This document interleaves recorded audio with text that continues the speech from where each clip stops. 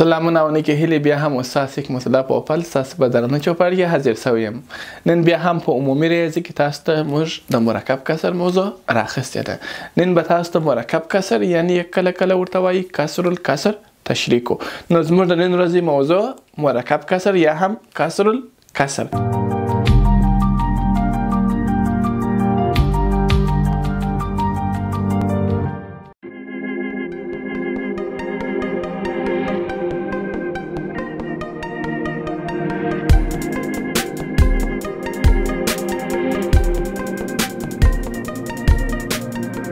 اول تاسو ته زه ښیم چې مثلا مرکب مرکب کسر یا هم کسر الکسر داسې کسر ته ویل کیږي چې سرعت او مخرج یې دواړه د کسر په شکل باندې لیکل شوی وي مرکب کسر یو داسې کسر ته ویل کیږي چې سرعت او مخرج به یې دواړه د کسري شکل سره لیکل شوی وي مثلا درې پر پنځه تقسیم درې پر پنځه تقسیم ویل یې داسې کېږي درې پر پنځه تقسیم اووه پر نه داسې یو کسر چې صورت یې هم د کسري شکل درلودونکی وي مخرج یې هم د کسري شکل درلودونکی وي د مرکب کسر یا د کسر الکسر په نامه سره یادیږي نو کله کله به داسې وي مثلا دوه پر درې تقسیم پر اووه صورت به یې کسر وي مخرج به یې عدد وي دې ته هم مرکب کسر ویلی سو کله کله به داسې وي چې مثلا پنځه او درې پر نه صورت به عدد وي مخرج به یې کسر وي دې ټولو ته موږ ویلی سو مرکب کسر نو مرکب کسر داسې کسرونو ته ویل کیږي چې صورت او مخرج به یې دواړه کسرونه وي صورت به یې کسر وي کېدای سي مخرج عدد وي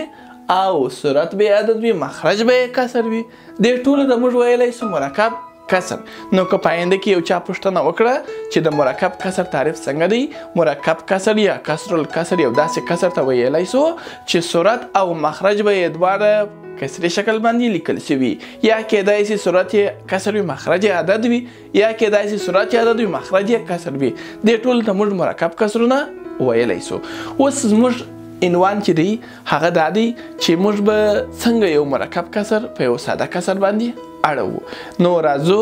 داسې یو عنوان تشریح کوو چې یو مرکب کسر په ساده کسر سره څنګه اړوو نو دا چې موږ یو مرکب کسر ساده کوو په څه شکل یې باید ساده کو مثلا لمړی مثال لمړی مثال داسې یو مثال دی مثلا دوا پر درې تقسیم اووه پر نه وای دا مرکب کسر ساده کوي ساده کوي معنا لنډ شکل یې ولیکي یعنی اوس خو صورت او مخرج دواړه کسرونه دي چې داسې جوړ که ساده مانا چې صورت يې هم يو عدد په شکل واوړي او مخرج هم د يو عدد په شکل واوړي هغه ته عبارت ساده شکل وايي کله چې تاسو يو مرکب کسر ساده کوئ طریقه داسې ده مختلفې طریقې سته خو ډېر لنډ یې ساده کوي داسې لیري او لیري عددونه چې تاسو ضرب کوي د هغوی د ضرب حاصل پر صورت ولیکئ او بیا نږدې و نږدې عددونه چې ضرب کوي د هغوی د ضرب حاصل په مخرج ولیکي دا د یو مرکب کسر د ساده کولو طریقه ده کله چې تاسو یو مرکب کسر ساده کوئ تاسو به لیري او لیري عددونه ضرب کوي حاصل په صورت باندې ولیکئ او بیا نږدې و نږدې عددونه ضرب کوي د هغوی حاصل په مخرج باندې ولیکئ اوس راځو ادامه ورکو عملیه ته که چیرې موږ د یو کسر په صورت او مخرج کې داسې عددونه و چې د اختصار وړ وي کولای شي په منځ کې اختصار یعنی ساده کول وکړي درې و نه دواړه پر درو باندې ویشل کیږي یعنی دا پر درو باندې وویشو یو نه چې پر درو وویشم درې نور داسې عددونه نشته چې په منځ کې اختصار وسی نور خپل ضرب کو دوه درې شپږ یو اوه هم هغه اوه دا د دغه مرکب کسر ساده کسر دی یو بل مثال ته راځم دوهم مثال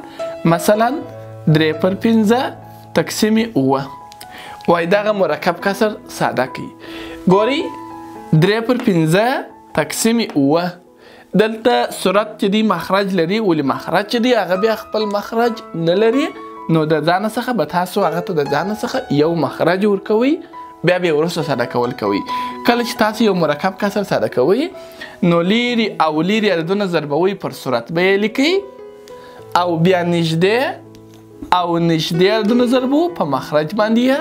لیکو څرنګه چې په صورت او مخرج کې داسې عددونه نشته چې یو بل ته اختصار وکړو نو بیا راځو ضرب عملې اجرا کوو یو درې هم هغه درې پنځه اووه پنځه دېرش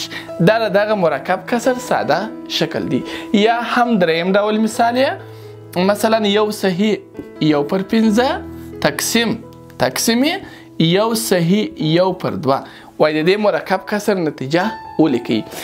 تاسو چې کله یو مرکب کسر یاندې کسر الکسر ساده کوئ نو تاسو به لومړی صحیح برخې له منځه وړي صحیح برخې چې له منځه وړي یو پنځه پنځه یو پنځه پنځه او صحیح برخه به ورسره جمع کړئ یو پنځه پنځه پر پنځه چې یو جمع کو شپږ ټوله نتیجه لوړ پر خپل پخواني مخرج پنځه دا به هم په همدې طریقه ساده کړئ یو دوه دوه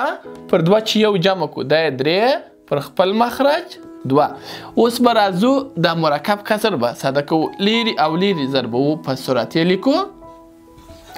او بیا نږدې او نږدې عددونه ضربو په مخرج باندې یې لیکو که چیرې په صورت او مخرج کې داسې عددونه و چې د اختصار وړ و اختصار کوو یې درې و شپږ چې دا پر درو وویشو یو شپږ پر درې وویشو دوه نور عددونه د اختصار وړ نه دي دوه په دوه کې ضربو څلور او یو په پنځه کې ضربو پنځه دا د دې مرکب کسر ساده کسر موږ ته راښیي یا هم کېدای سي په داسې شکل مثال راکول سي یو منفي درې پر پنځه تقسیم کې پر یو جامه دوه پر درې وای دا مرکب کسر ساده کی کله چې تاسو یو مرکب کسر ساده کوئ نو لومړی به دا سی برخې له منځه وړي سی برخې چې د منځه وړي هغه سی بر ختمی په مخرج کې باید ضرب کی یعنی یو پنځه پنځه له پنځه څخه چې درې کم کو د دوه خپل مخرج یې پنځه دی ځکه مې کم کړ چې علامه منفي ده او یو درې درې یو درې درې پر درې چې دوه جمع کو دا پنځه خپل مخرج یې درې دی کله چې تاسو یو مرکب کسر ساده کوئ د مرکب کسر د ساده کولو لپاره مو څنګه کول لیري او لیري د دونو چې ضربوو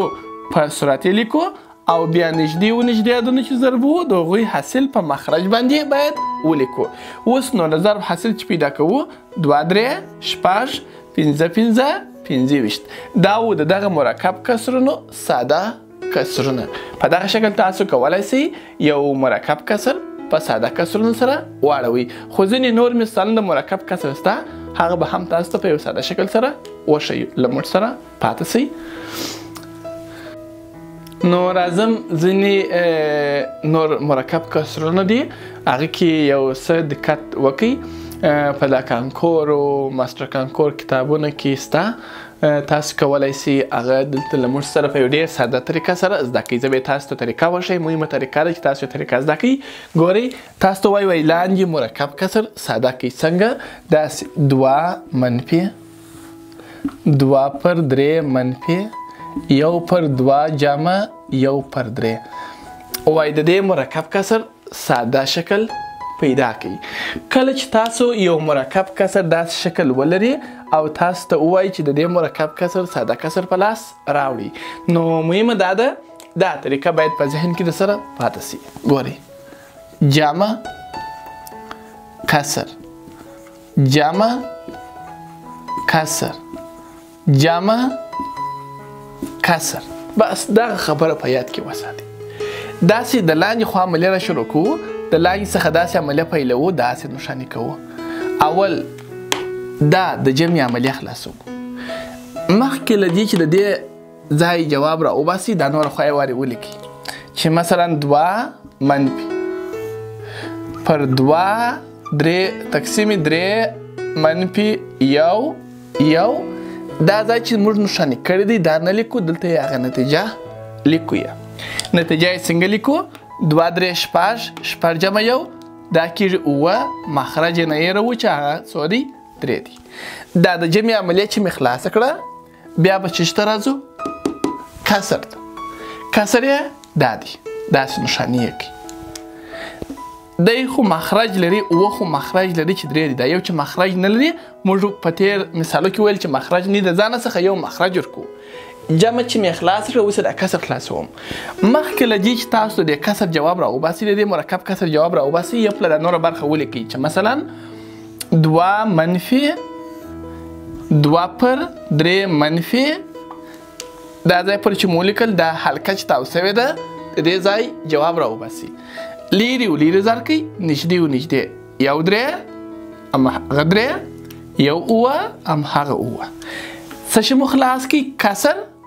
کسر چې مو خلاص کړي بېرته د چا نه باد دی جمع بېرته به دغه جمع دغه جمع و جمع کوو که منفي وه هغه منفي عمليه به يې خلاصوو نو داسې کوو یو وار دا نوره برخه لیکو دوه منفي دوه د دې ځای جواب راوباسي دا خو ماته څه تشریح کړی دی درې اوه یوویشت درې اوه یوویشت له یوویشته چې درې کم کو دا کېږي اتلس اوه مخرج یې نه یې راوچ سوري چې اوه دي کله چې مو دا جمع یا منفي خلاصه کړه جمع یا منفي چې خلاصه بېرته به تاسو کسر ته نوبت ورکوي بیرته به دا کسر ته داس نوبت ورکوی بیرته به دا کسر ته نوبت ورکوی مخرج چې نه مخرج څه ورکوو یو دا صورت چې مخرج نه لري مخرج یو نو دا کسر عملیه به خلاص کو یو به دا ولیکو دوه منفي لیرې و لیرې ځار کوي نږدې و نږدې دوه اوه څوارلس کېږي یو اتلس هم هغه اتلس کیږي کله چې مو کسر خلاص کی بیرته چشته نوبت ورکو جمع ته نوبت دی نه پرله پسې کسر خلاصو نه پرله پسې جمع خلاصو جمع کسر نو اوس چې موږ کسر خلاص کړ دا واري دا جمع یا منفي عمله چې دا خلاصو نو دا دوه به ضرب کو دوه په اتلس کې دوه په اتلس کې چیرې ضرب کو شپږدېرش د دې دوه د ضرب څخه دغه صورت برخه منفي د منفي کوی که جمع ور جمع کوی دوه اتلس شپږدېرش له شپږدېرش ته څوارلس کم کو دا کېږي دوه ویشت پر خپل مخرج اتلس دا د دغه مرکب کسر ساده شکل دی که دای سی دا یو څه اختصار کو ولې چې صورت او مخرج دواړه جب ته عددونه چې پر دوه باندې یې وویشو نو دوه چې پر دوه شم یو دوه چې پر دوه شم یو اتلس چې پر دوه شم نه نو یولس پر نه دا نتیجه ده څنګه چې صورت یې له مخرج ته غټ دی یعنی غیر واقعي شکل دی کولای سي په واقعي شکل یا انتسهي شکل هم واړوي که چیرې دا جواب نه وو کولای شي دا تصحیح کړي تصحیح په دې معنی چې صورت راواخلي پر مخرج یې وویشي یو نه نه دوه باقي پاتېږي نو باره به موږ باقي پر صورت لیکله او مقسوم علیه په مخرج لیکله او خارج قسمت په سی برخه کې دا و د دې مرکب کسر ساده شکل یو سهی دوا پرنه په دغه شکل تاسو کولای شئ یو مرکب کسر ساده کړئ نو د نن دپاره مو عمومي ریاضي په همدې ځای پای ته رسېږي تر بیا ښې چارې ولرئ